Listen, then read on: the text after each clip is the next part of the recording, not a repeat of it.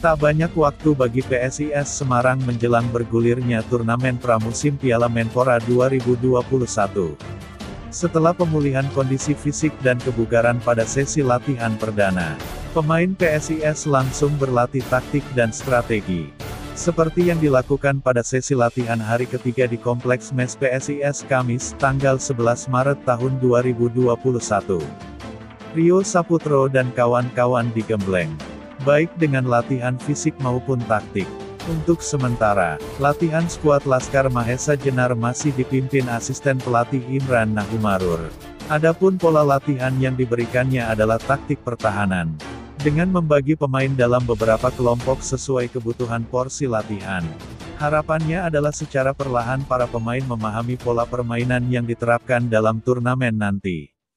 Tujuannya adalah agar pemain PSIS memiliki masa otot yang ideal untuk sebuah pertandingan dan fisik prima untuk pertandingan di Piala Menpora nanti, kata Imran.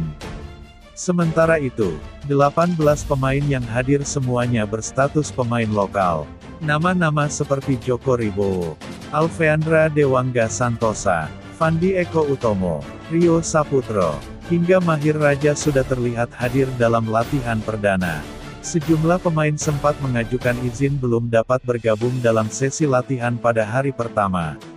Hari Nur Yulianto, Septian David Maulana, Vinky Pasamba, Safrudin Tahar, Jandia Eka Putra, absen pada sesi latihan perdana. Perlahan skuad Mahesa Jenar berdatangan dan bertambah lengkap, termasuk kehadiran tiga pemain trial Reza Irfana, Dava Balindra dan Aksai Rismawanto. Seperti Septian David dan Hari Nur sudah izin bahwa mereka belum bisa hadir karena ada keperluan yang harus diurus, ungkap GMPSIS Semarang.